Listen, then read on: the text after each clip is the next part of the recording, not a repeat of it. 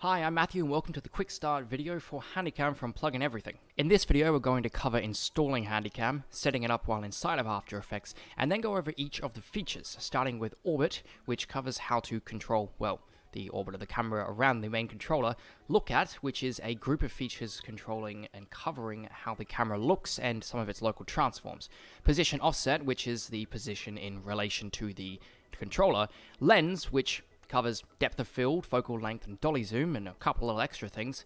Wiggle, which is a group of controls that easily allows you to apply some interesting and very nice handheld effects to the camera. And Utility, which is pretty much self-explanatory. Refresh expressions, bake the expressions, duplicate the rig, all the setups and utility functions that you can imagine. If you're only interested in a particular feature, or you just need a quick refresher on something, feel free to jump to any of the time codes that are on screen. They will take you to just that particular feature and you can watch from there. Otherwise, sit back, relax, and let's jump in. Installation is a breeze. Simply copy the plugin to the correct plugin folder for your operating system and After Effects version, restart After Effects, and there you go. Setup is just as easy. Inside of your After Effects composition, create a null object, apply the Handycam effect, and click the setup button. From there, you're good to go. It will automatically create the camera and rename the nulls, set up all the expressions, and everything else. The orbit controls in Handycam have inside the X, Y, and Z. They'll always be the first thing you see when you open it up. The X, Y, and Z controls give the user the ability to orbit the camera around the control object. Much like Multi's camera rig, the orbit controls rotate or pivot and allow fluid, easily orbiting shots. One of the things you'll notice is that no matter which way you orbit these controls, Y is always left and right, and X is always up and down. A quick uh, plug if you're curious on why and how that is, feel free to check out the plugin Autopsy that will be coming out quite shortly after this Handycam quick start tutorial, and we go into a little bit more detail about exactly why and how the uh, Handycam rig does this. The Cam Orients controller button right here may seem a little weird by the name, but it's actually quite simple. Ticking it will make the camera controller, well, look at the camera. So if I turn this off, the null is always facing world space. Moving it left and right moves left and right in world space. However, ticking this on means it will point at the camera. I orbit this way, and then I move left and right as the controller, and I'm moving left and right in camera space. Inside the advanced controls, you only have one controller, and that is the rotation order. I'm going to give a real quick overview, but I've got to say right now, I do not recommend that you touch this controller unless you have a good understanding of gimbals, because this order basically allows you to try and change the rotation order to prevent gimbal lock. But it's for you to mess around with if you want. I'm not going to explain gimbals, unfortunately, because that is beyond the scope of this video. As said earlier, if you actually want to know what this does from a more technical standpoint and gimbal, what gimbals are, feel free to check out the plugin Autopsy, which as I said, will release shortly after the release of this quick start video. The target option in the look at group allows you to target which object you want the camera to, well, look at. So, for example, to begin with, and by default, it's set on Handycam controller. This is why whenever you rotate around, it will look at the little controller that you got there. However, this can be set to anything, even none. So, for example, if we set it to this little circle here, it focuses on the circle, and as the circle moves around, like so, the camera will look at it. Very handy. Something to note, if the target is set to none like so, then the orientation is based off of every other parameter. Orientation here, X rotation, Y rotation on the camera, or other features like that. Though we recommend using the look at feature as these others can be a little bit confusing. The offset controller comes in handy when, for example here, your look at target isn't quite correct. The target that it uses is the actual object's orient, uh, origin. So on solids, that's the corner of it, which as we know isn't the center. This offset works in world space and allows you to slightly move and adjust where exactly you are looking. This is not relative to the camera's orientation, which means no matter the rotation of the object or anything else, this will always work. So here, you just slide it up a little bit, and there we go. We're looking at more of the center here. Local Transform is a new feature introduced in version 1.1 of Handycam. It allows you, quite similarly to position offset or moving the actual camera around, to offset the camera, well, in its position. However, it uses what I mentioned earlier as camera space. So this X, or truck, as people who are familiar with film uh, may be familiar with, moves you left and right. That's not left or right on the x-axis, that's left or right to where the camera is looking. Y will move you up or down to where the camera is looking, and Z, obviously, in or out. That gives you a lot more control or freedom for panning, trucking, etc., etc., in the actual direction the camera is looking. So if I rotate this all the way around here, I'm still looking here. Now, I will always move left or right to the way I'm looking, and I won't continue to look at that thing. It actually offsets where you're looking as well. Position offset is a pretty damn simple one. Think of it exactly like you would as the position of an object in comparison to or relation to its parent. The child, in this case, is effectively the camera and the parent is the null. Changing these changes the camera's position as if its world zero is always the null. We move the null forwards and right, the position offsets don't change, but the relative position in world space does.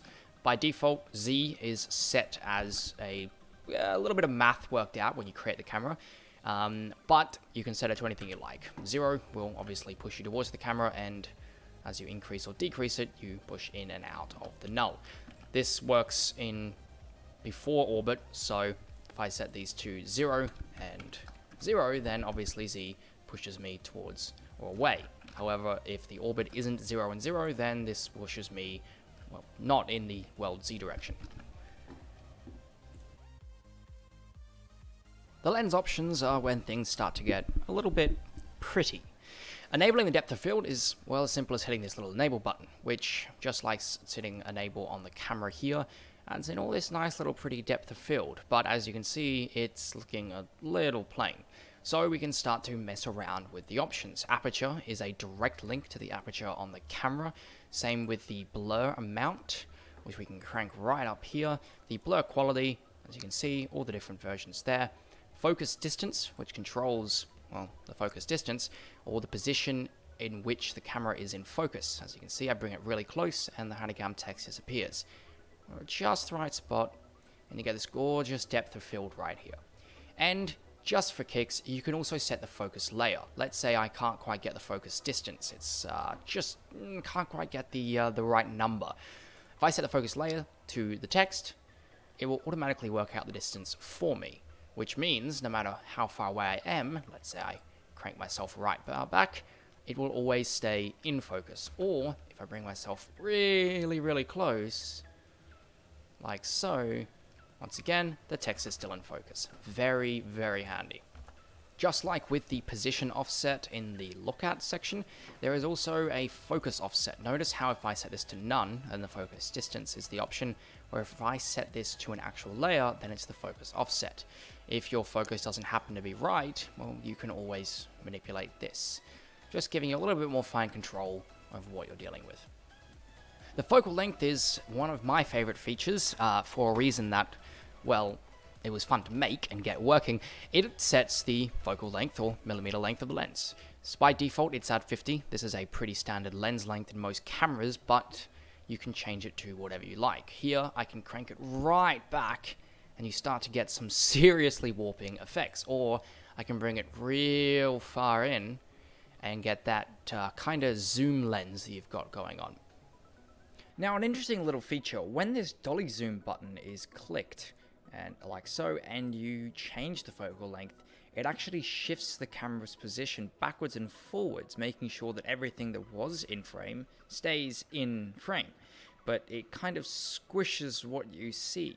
Think of it like when you uh, watch the old Hitchcock movies and you get that vertigo effect, or uh, Lord of the Rings when Frodo is standing in front of the cave uh, before he gets attacked by the spider. It's a very common effect used to display fear or motion or something along those lines, and now can be done very easily with just a little bit of a tick box.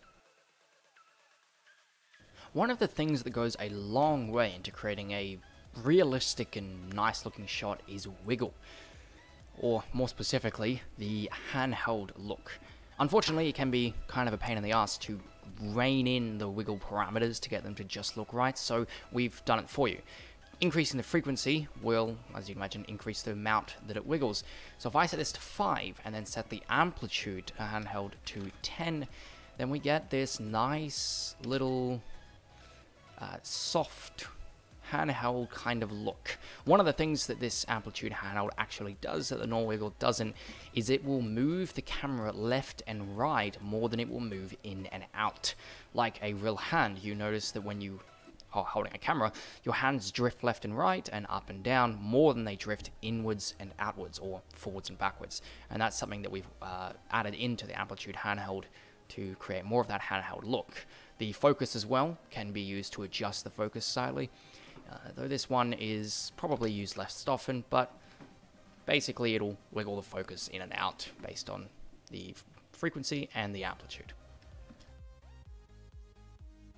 And finally, the utility panel, which contains, well, as you can imagine, utilities.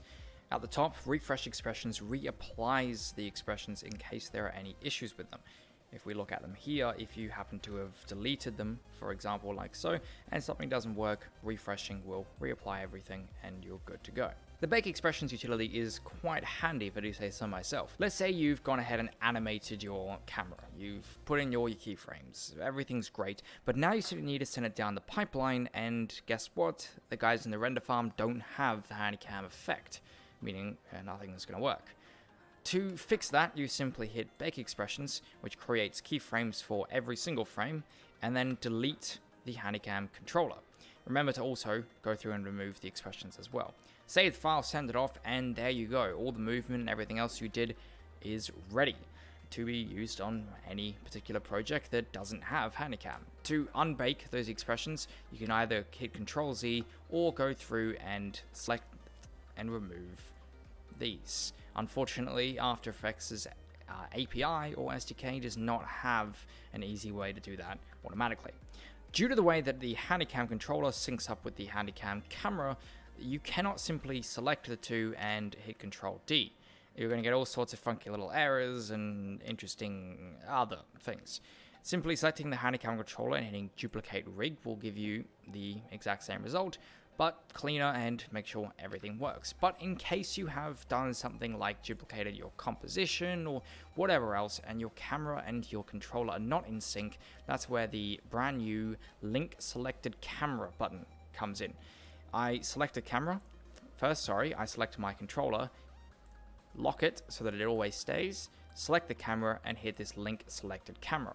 You know it's done it correctly if it, well, selects the null that is being done correctly and from there everything should sync. All these utilities, setup, refresh expressions, etc., etc., should all operate fine. That is the gist of the utilities panel right there. And there you have it. In a very short amount of time, we have this gorgeous shot.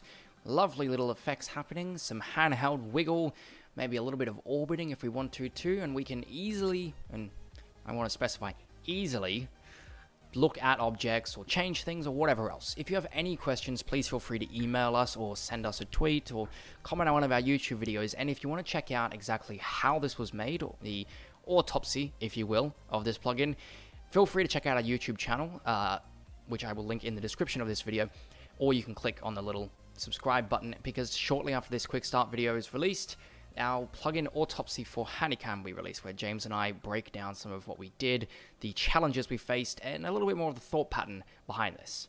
Thank you for watching, and enjoy your plugin.